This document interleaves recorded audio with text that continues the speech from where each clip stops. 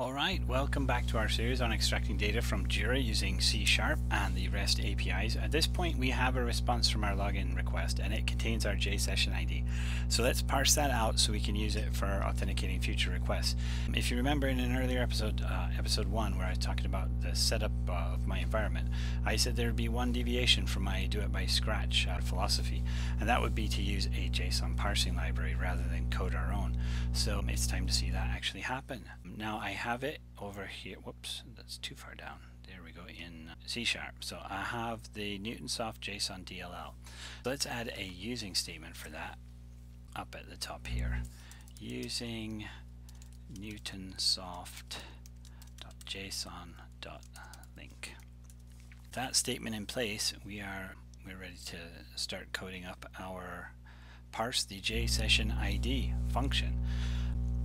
Before we really get into it though, we'll, we'll add our, um, our error handling and everything, try catch block with some error handling. That'll be how we get moving here. So catch exception EX. You know what, I did it this way in all the other ones, so I'll leave it like that. Try catch, oh yeah, and in our catch, you know what, we can just copy and paste this stuff. And paste, and this is not log into Jira anymore. This time we have a new function name.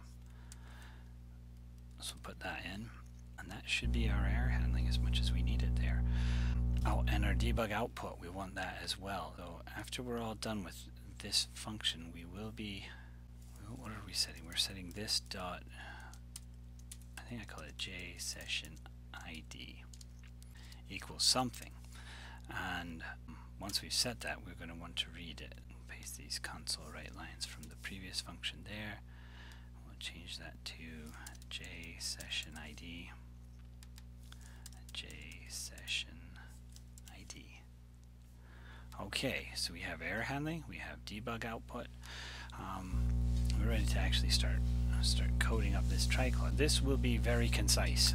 First line that I'm going to type here is to deserialize our JSON into a dynamic object. Dynamic's very useful here. Normally we'd uh, create a class with the same layout as our JSON response and then we'd serialize our JSON into uh, to instantiate an object of that class. But with the dynamic type we can just tell the script to build an object at runtime which can hold this data. Then we access the properties of that object just in the normal way access properties of a nested array or something. So let's create our dynamic object, a dyne object. And we'll create it as a var. I'm going to fully qualify this, json.json convert.deserialize object. And uh, it's a dynamic object. Dynamic and what are we passing in? This dot login response, the login response that we just set in our last function.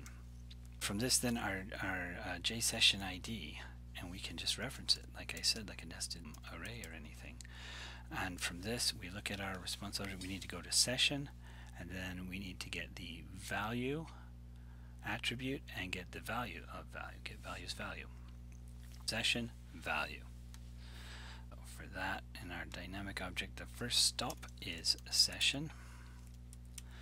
And after we've done that, we want value. And then we, we don't want the name of it, we want the value of value. So we'll type that in there.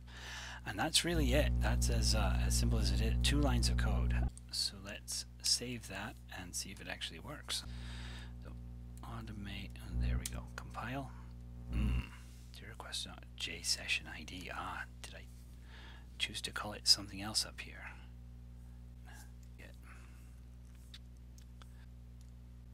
It looks right. And I capitalize versus uncapitalize the D. Save. And there we go, just warnings. Let's run it. Okay, okay, so we have our login response that we got back. And let's see, 87A9, 87A9, end we have 99633. Double nine six double three. Looks good. So, wow, that's very nice. That was our, our goal for this episode. In the next episode, we'll actually use this JSession ID to authenticate and extract data from Jira. And I will see you there. Thanks a lot. Bye.